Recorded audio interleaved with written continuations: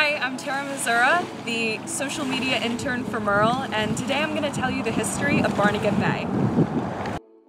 Barnegat Bay sits on the coast of Ocean County, New Jersey, and is connected to the Atlantic Ocean through the Barnegat Inlet. The bay is home to a number of islands, namely the Sedge Islands, and is separated from the ocean by Long Beach Island.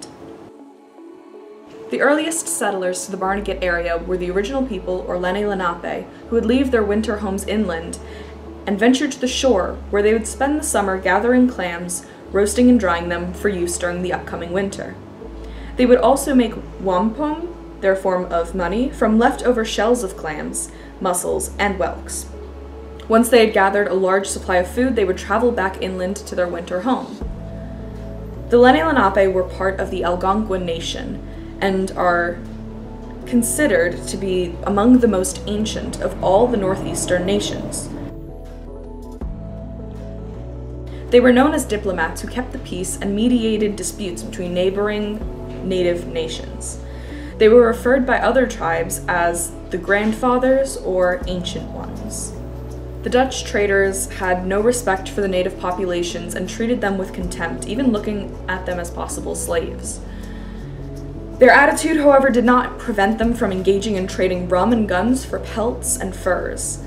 The worst event in relations was the slaughter at Pavonia on February 25, 1643.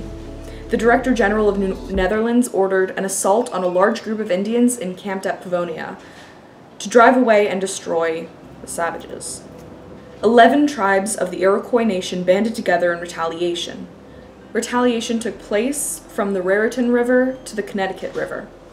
A truce was finally secured in 1645, although the Lenni Lenape were still forced to relocate to a reservation in 1758.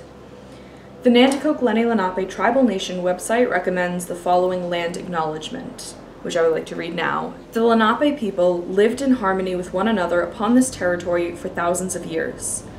During the colonial era and early federal period, many were removed west and north, but some also remained among the continuing historical tribal communities of the region the Nanticoke Lenni Lenape Tribal Nation, the Ramapo Lenape Nation, and the Powhatan Lenape Nation. The Nanticoke of Millsboro, Delaware, and the Lenape of Cheswold, Delaware. We acknowledge the Lenni Lenape as the original people of this land and their continuing relationship with their territory. In our acknowledgement of the continued presence of Lenape people in their homeland, we affirm the aspiration of the great Lenape chief Tamanend that there be harmony between the indigenous people of this land and the de descendants of immigrants to this land, as long as the rivers and creeks flow and the sun, moon, and stars shine.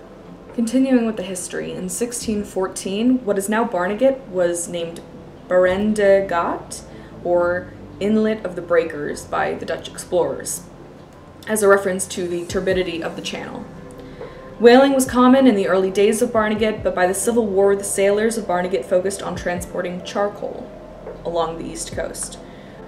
The bay has been used for commercial fishing for hundreds of years, and it has been referenced in literature throughout its history. I personally think that the most important one is in the song My Eyes Adored You by the Four Seasons.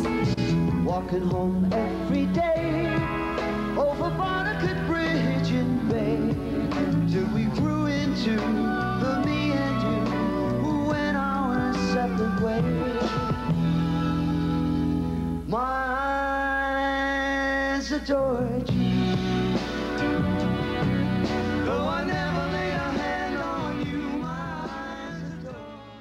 But it was also the setting for E.B. White's short story, The Family That Dwelt Apart. Also in the TV show The Sopranos, Tony Soprano has a boat in Barnegat Bay. Since the 2000s, there have been concerns regarding the loss of seagrass and oyster reef habitats, algal blooms, and high nitrogen levels from fertilizer runoff. Nowadays, research is conducted in Barnegat Bay through universities such as Stockton and Rutgers, as well as organizations such as the Barnegat Bay Partnership. I hope you enjoyed this video and learned something new. If you have any questions, feel free to comment down below and share with a friend. Bye!